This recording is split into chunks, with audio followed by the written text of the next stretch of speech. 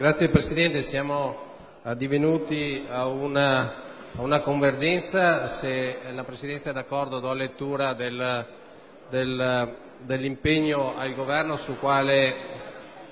tutti quanti abbiamo dato parere favorevole. Il punto 1 eh, ci impegniamo a difendere con la massima determinazione il settore agroalimentare italiano in tutte le sedi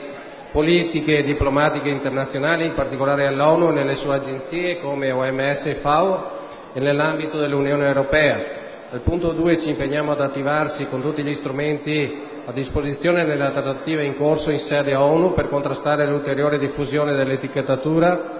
etichettatura a semaforo sui prodotti alimentari al fine di promuovere invece l'utilizzo di sistemi di etichettatura che diano corrette informazioni nutrizionali e indichino l'origine dei principali ingredienti utilizzati. Al punto 3 ci impegniamo a porre in essere e continuare a svolgere una pronta e decisa azione diplomatica sul piano internazionale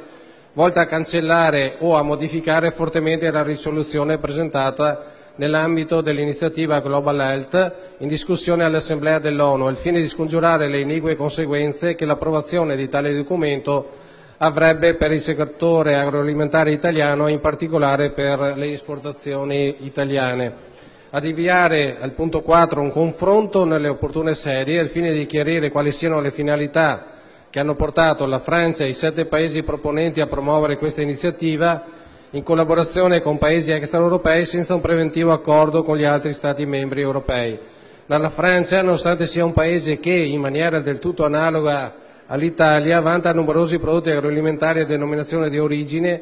e a indicazione geografica riconosciuti dall'Unione Europea. Potrebbe questa danneggiare tali prodotti e, ove questo documento venisse approvato senza modifiche, si espone essa stessa ad essere pesantemente penalizzata.